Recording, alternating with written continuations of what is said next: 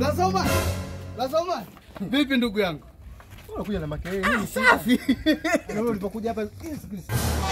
Unaona sasa dondoshea nani vitu vyangu. Bahati mbaya bwana. Anza kujengea najengea nyumba. Alafu yeye ulipokuja hapa nikajua mteja. Sasa nikwambie. Haisee. Huwezi amini. Kumbe kuna watu wanapendwa na wake zao, huwezi amini.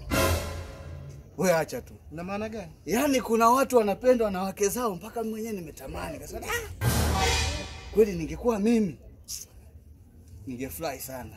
Ningepata mwanamke ambaye ananiheshimu kama wengine wanavyoheshimiwa. Ah, ningefurahi. Wewe nikwambie kitu hivi ninavyokuambia hivi. Nilikuwa na shemeji yangu. Tulikuwa tumetoka tukaenda loji sehemu tukachukua chumba. Sasa hatukutumia hata muda mwingi. Tulitumia tu kama masaa matatu tu. Sasa baadaye nikakuta ananiambia kwamba baby, ah, mimi naomba niwahi kwa sababu mume wangu sijamwaga, kwa hiyo hajui niko wapi. Kwa hiyo asije akarudi akanikosa nyumbani. Mimi nikaambia da, nikafikiria nikasema da, huyu mwanamke kumbe anamheshimu hivi mume wake. Yaani kwa kweli yule zaidi ningenikuta mimi. Ah, ise ningefurahi sana. Niheshimike hivi na mwanamke. Ah, safi kabisa yani. Unamzungumzia shemeji yako yupi huyo? Namzungumzia mkeo blaza, Yani kwa kweli pale mke umepata anakuheshimu. Usimwache bwana.